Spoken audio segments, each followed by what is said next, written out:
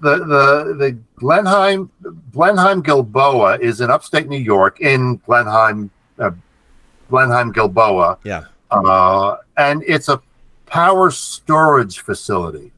It doesn't generate power from fossil fuels or solar or wind. What it does is it takes power from the grid and it there's a there's a lake at the bottom of the cliff and there's a man-made lake at the top of the cliff. Huh.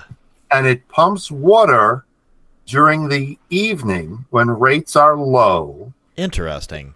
in from the bottom lake to the top lake and stores it there until it's needed generates over 1100 megawatts of electricity But And that's all, all through gravitational potential energy and hydroelectric. yes. Yeah, that's So it- interesting.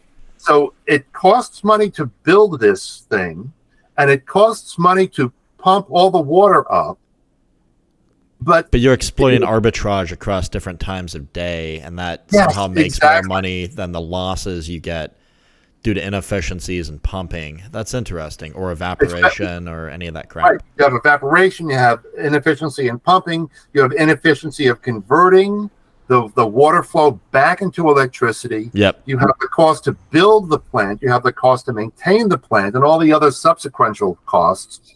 Even with all those costs all together, they make money or they wouldn't Huh. do it.